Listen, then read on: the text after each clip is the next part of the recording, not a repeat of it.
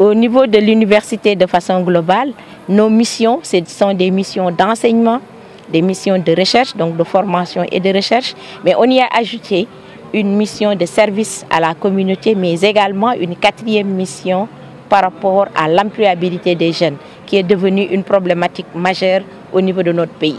C'est dans ce contexte qu'au niveau de l'Université du Sine Saloum et l'âge Ibrahim Magnas, nous avons mis en place un incubateur.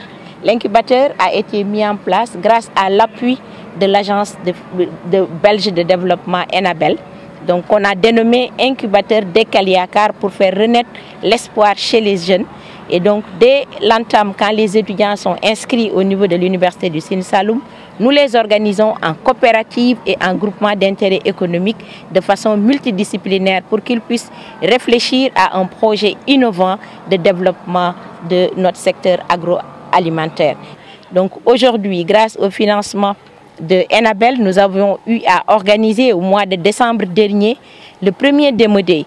Le Demo Day, c'est une journée où les étudiants, les, les, incubés, qui ne sont pas seulement des étudiants, parce que nous incubons également les jeunes de la communauté qui ont des projets innovants. Ils, sont, ils suivent des cours au niveau, sur l'entrepreneuriat pour une période d'un semestre, donc pendant six mois. Et à l'issue de ces six mois, on va évaluer le projet et voir quel est le business plan que les, incubés ont eu à proposer.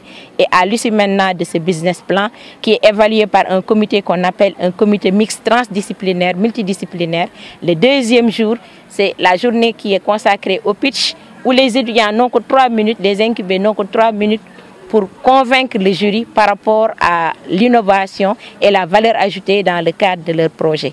Et c'est aujourd'hui, on a écouté les projets qui ont été présentés et les cinq meilleurs ont obtenu ce qu'on appelle des fonds d'amorçage.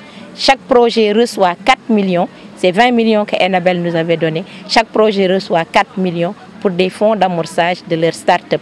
Mais nous continuons à les accompagner parce que nous, on ne veut pas s'arrêter seulement à la création de l'entreprise. Nous voulons également voir quel est le devenir de l'entreprise. Nous continuons cet accompagnement avec eux.